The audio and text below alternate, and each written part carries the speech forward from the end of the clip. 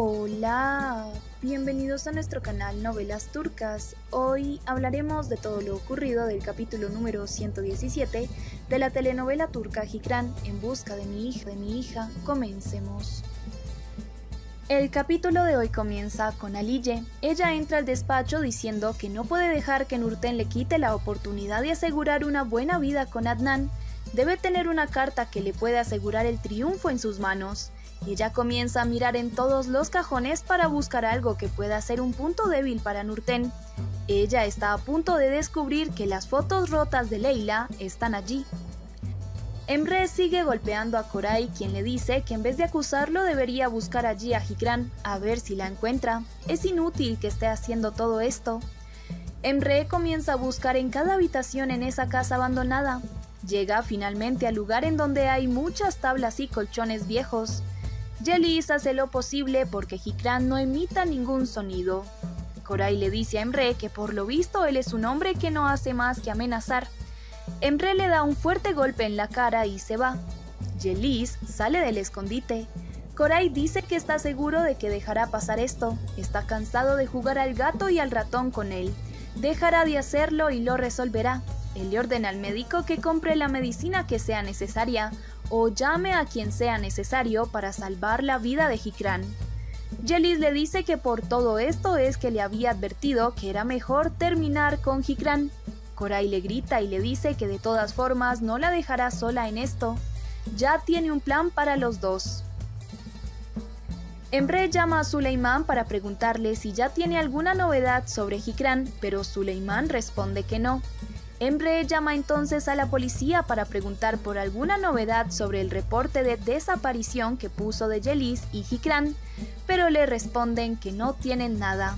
Emre jura que moverá montañas con tal de encontrar a Hikran y después de hacerlo eliminará todos los obstáculos que hayan en medio. Leila ha llevado a Nurten a su casa. Nurten observa el lugar en donde vive su hija, quien organiza un poco y le pide disculpas si algo no está en su lugar, pero son cosas que pasan cuando se vive solo. Jamás creció con alguien que le ayudara a ser ordenada como una madre, pero ha hecho lo posible hasta ahora.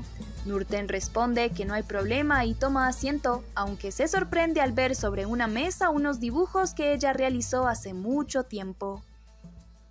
Leila le muestra los dibujos y le dice que pertenecen a su madre. Como le comentó, ella dibujaba de una forma espectacular y tiene retratado en su mente cada centímetro de cada dibujo. Quisiera poder recordarla a ella de la misma forma, aunque es casi imposible.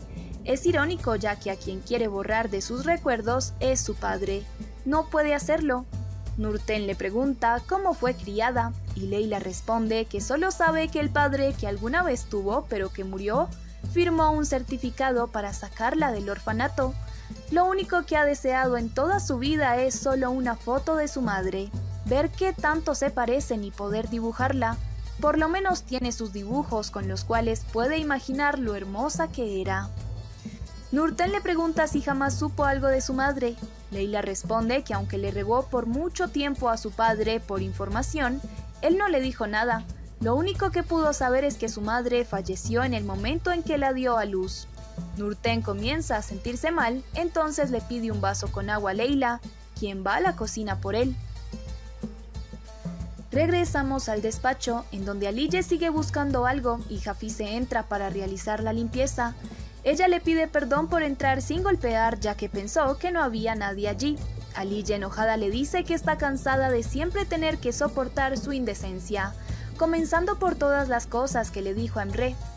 se responde que su única intención era ayudar, pero Aliye no le permite hablar y le dice que ha cruzado sus límites y lo mejor que puede hacer es irse de la mansión porque no quiere a una empleada que no conoce su lugar. Ella le ordena que se vaya y Jafise nerviosa se pregunta en dónde encontrará un lugar al que ir. En la casa abandonada, un hombre con equipo médico llega y el médico le ordena cómo ubicar todo. Yelis le dice a Koray que si no tienen cuidado la policía lo va a encontrar. Koray responde que ese no es su problema. A quien buscan es a ella y no a él. Quiere que se calle, ya que está a salvo. Ese es el único lugar en donde no pueden encontrarla. Yelis enloquece y comienza a golpearlo. Entonces Korai la sujeta y la lanza al suelo. Toma una cuerda y la amarra de pies y manos para que se quede inmovilizada. Yelis no puede hacer ningún tipo de fuerza ahora. En casa de Leila, ella le da algo de comer a Nurten y le dice que no sabe si le gustará.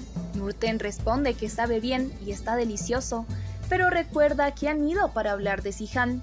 Puede ver que es muy importante para ella y que obviamente hay algo muy serio entre ellos dos. ¿Acaso ella sabe qué siente Sihan por ella?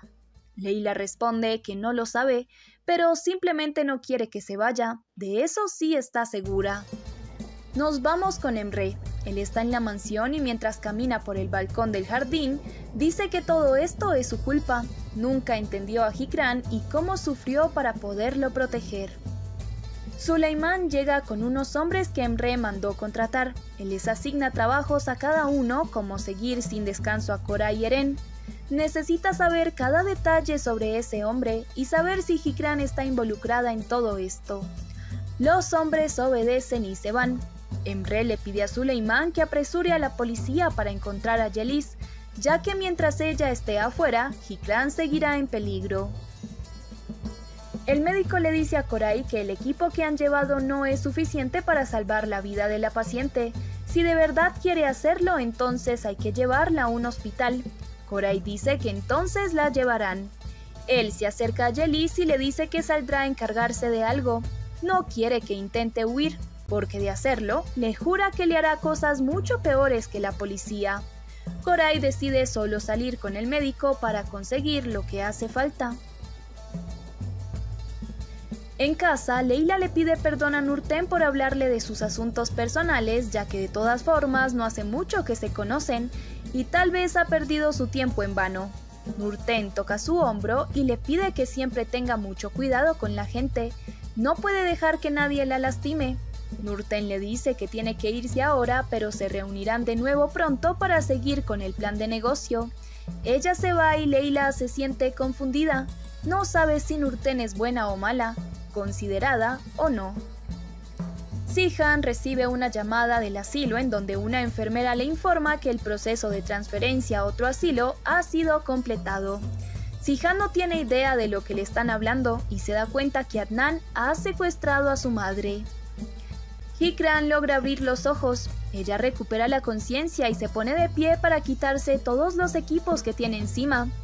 Yelis decide esconderse para que no la vea Hikran se dice a sí misma que no puede rendirse ahora y muy adolorida golpea la puerta para abrirla. Al lograrlo sale caminando muy débilmente, cae al suelo, pero se repite que tiene que seguir adelante. Ella sigue el camino paso a paso con su rostro lleno de sangre. El capítulo termina con Sihan, quien llega a la oficina de Adnan completamente enojado. Tan pronto como Adnan lo ve, le apunta con su arma, al igual que su hombre, pero Sihan logra quitarle de la mano el arma a este guardia. Adnan le ordena que conozca sus límites o se arrepentirá. Sihan le exige que le diga en dónde está su madre. Sihan recibe una llamada de Leila. Adnan toma su teléfono y le dice que puede ver que ante él se comporta como un hombre, pero con Leila lo pierde todo. Él contesta la llamada y Sihan se pone nervioso. Yelis logra dejar caer una caja en donde hay un cuchillo y al usarlo logra cortar la soga con la que está atada. Ella sale de la casa con un palo en la mano diciendo que terminará con la vida de Hikran. Ella la ve a lo lejos y corre para poder golpearla, pero tan pronto como Hikran sale a la carretera, un auto se detiene y el conductor al ver la malherida la sube a su auto para llevarla a urgencias. Yelis no puede creer su mala suerte, Adnan no pronuncia ni una sola palabra. Leila le pide a Sihan que responda ya que está muy preocupada. Adnan cuelga la llamada y le dice a Sihan que puede ver cuánto lo quiere su hija. Sin embargo, sabe lo que tiene que hacer por el bien de todos. Sihan le ordena de nuevo que le diga en dónde está su madre. Adnan responde que puede estar en cualquier parte. Cuando haga su trabajo se lo dirá. Sihan le dice que no puede creer que después de cuidar toda su vida de su madre, ahora la use para chantajearlo y quiera matarla. Adnan responde que eso hará con todo el que se cruce en su camino. Ahora puede ir a trabajar. Han molesto toma su teléfono y sale de allí. Espero les haya gustado este adelanto, no olviden suscribirse y activar la campanita de notificaciones para que no se pierdan ninguno de nuestros próximos videos. Gracias.